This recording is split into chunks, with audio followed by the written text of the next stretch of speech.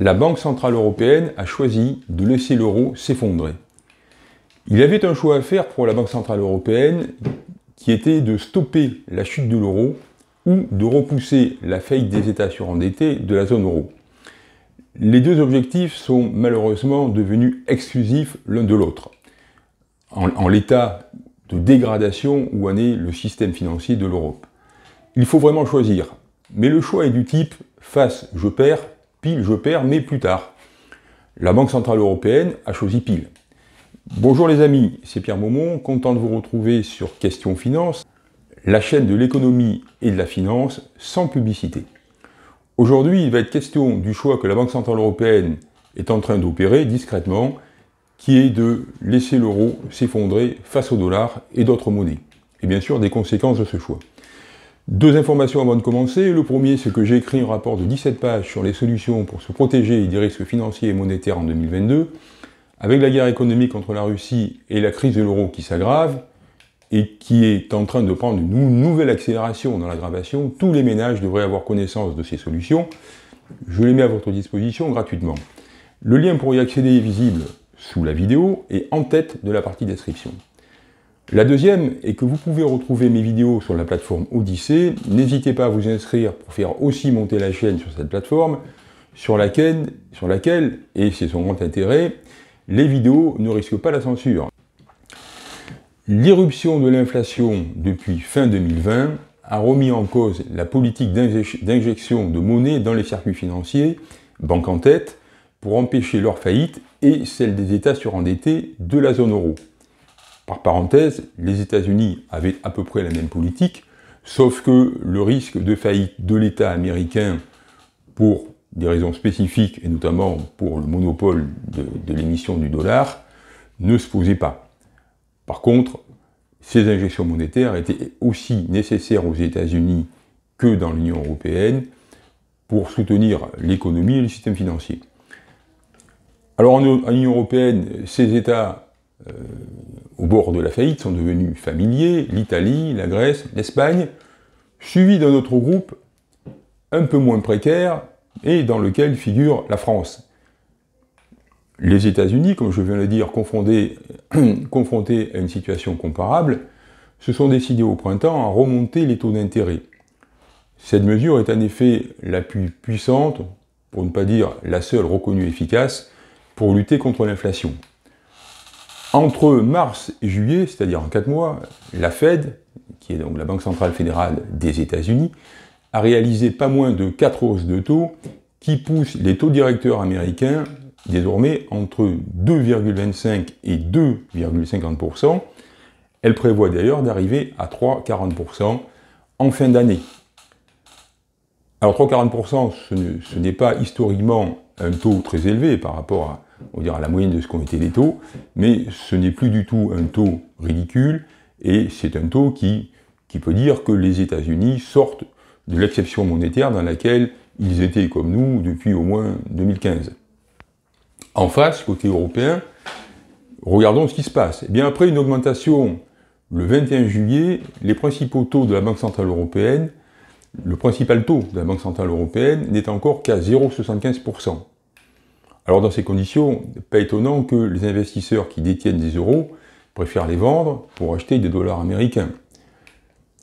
Pour ralentir la chute de l'euro, il faudrait porter son taux directeur à un niveau proche de celui des États-Unis, voire à un niveau supérieur, compte tenu que les fondamentaux économiques, financiers et politiques de l'Union européenne sont beaucoup moins bons que ceux des États-Unis.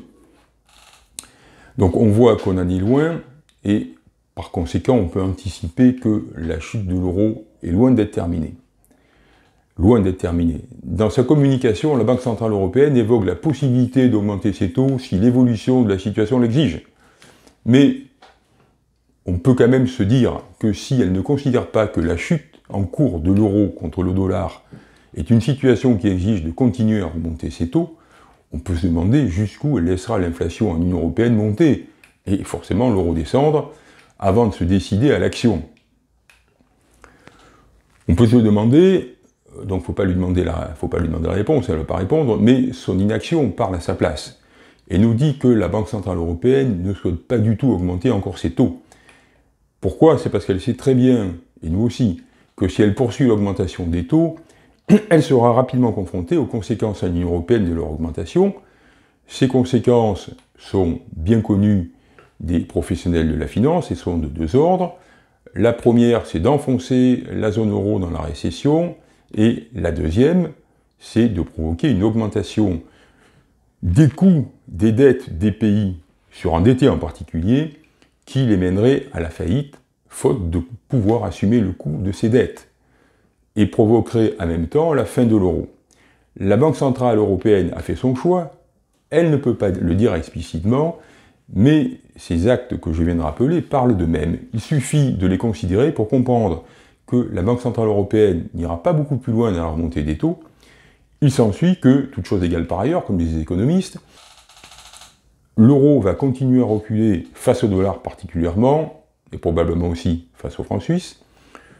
Alors pour sauver les apparences, la Banque Centrale Européenne explique que l'inflation disparaîtra toute seule courant 2023 et que, dans ces conditions, la lutte contre l'inflation n'est pas si prioritaire que ça. Alors il y a dans ce discours une apparence de bon sens.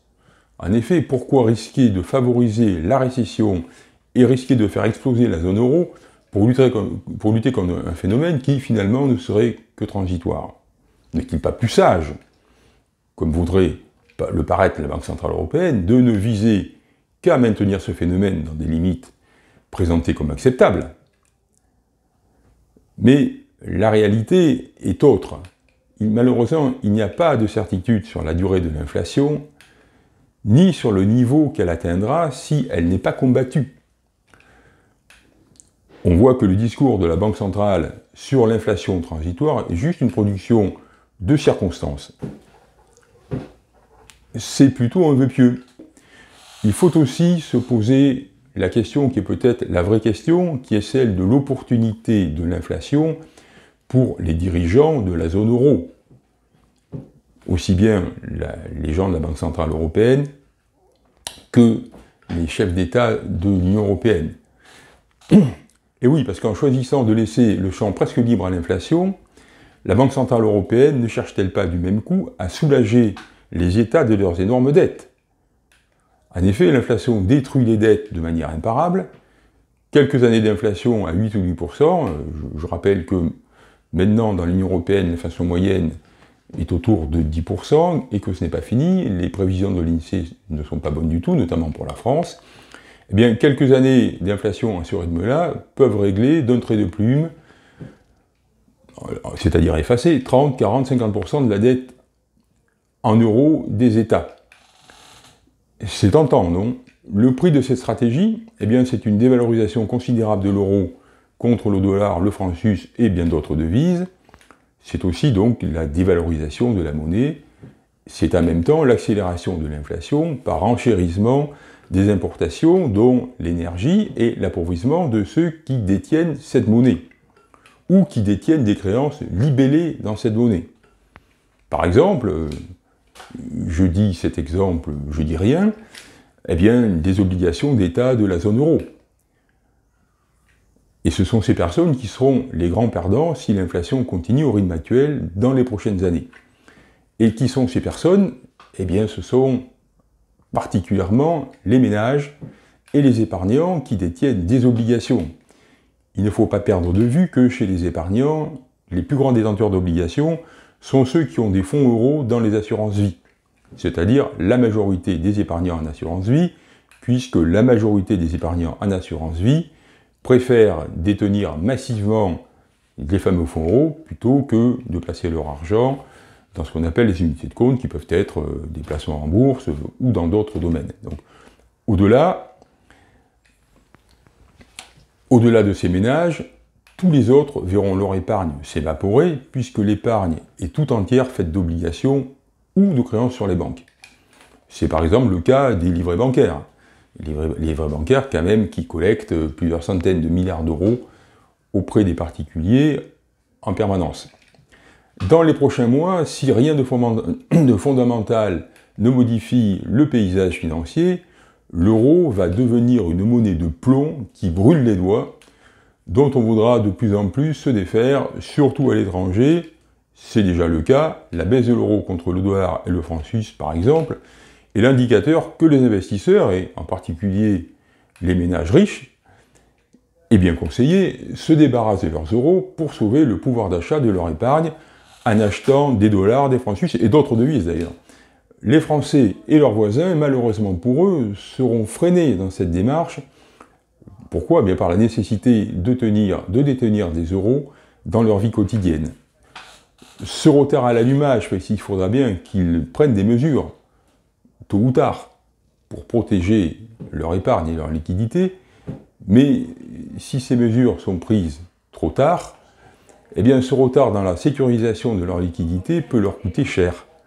Surtout si la chute de l'euro venait à s'accélérer.